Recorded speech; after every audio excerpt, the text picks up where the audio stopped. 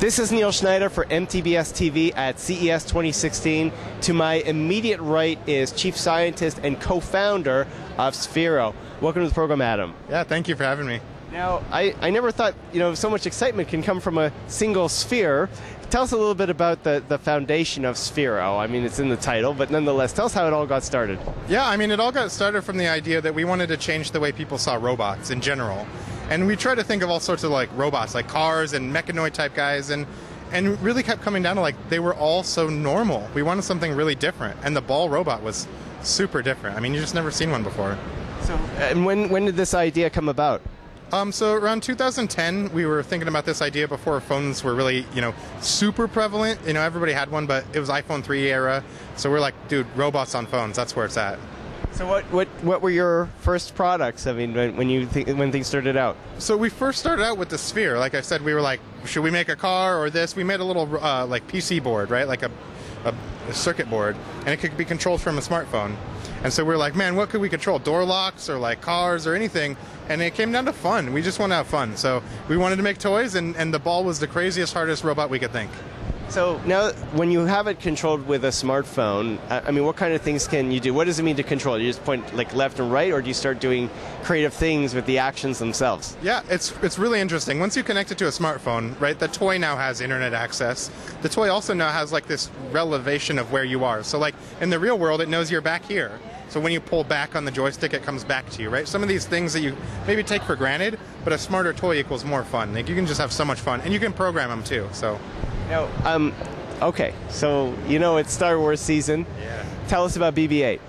I mean, so BB-8's this adorable, peeking little robot, right? It uh, came to life in the Star Wars Episode 7 movie, and we all fell in love with it. And our company was tasked with trying to recreate that for the people at home, to let you bring a piece of the the droid home with you, and that's what we did with this BB-8 Sphero, uh, you know, smartphone controlled robot.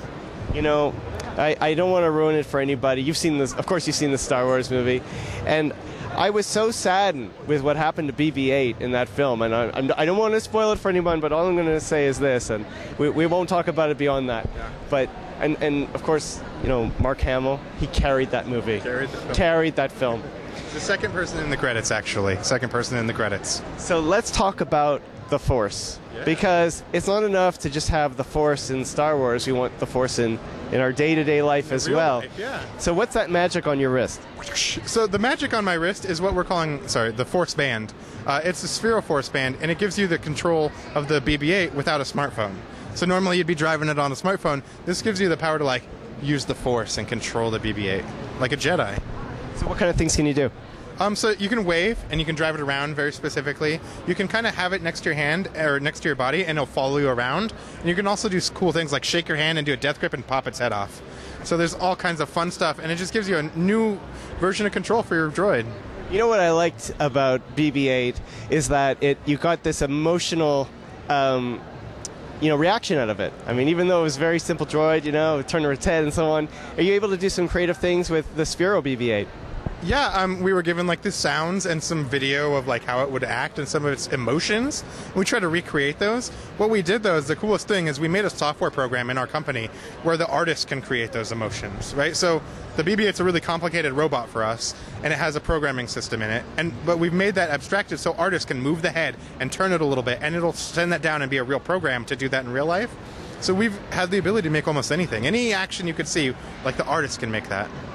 Right, wonderful stuff. So, you know, the software that supports it, is it regularly upgraded? And, and, what I mean by that is, are you starting to come up with creative ideas that you maybe you didn't have when you first released products like this? Yeah, um, we didn't. We weren't privy to see the entire movie, just as everybody else wasn't. it was super secret. So when we saw the whole movie in its entirety to know what BB was about and the things that he, uh, he or she got involved with, um, we're able to update the app to give you that experience as a customer. So you'll have new holograms in your messaging, you'll have new motions, you'll have all kinds of new stuff. Wonderful. Now I take it it's available now, yeah? Yeah, it's available now. You know, Apple Store, Brookstone, Amazon, Sphero.com, and it's one for forty nine ninety nine. And it, it, works with both Android and Apple's smartphones. Yeah, Android, Apple, and Windows smartphones, and you can actually connect to it any with any computer that has Bluetooth Low Energy. So like Chromebooks and anything like that. So you can do all sorts of stuff with your BB-8. Wonderful. Thank you so much for joining us. Really cool tech. Thank you very much. This is Neil Schneider for MTBS TV at CES 2016. We will, of course, be back with more. Thank you for watching.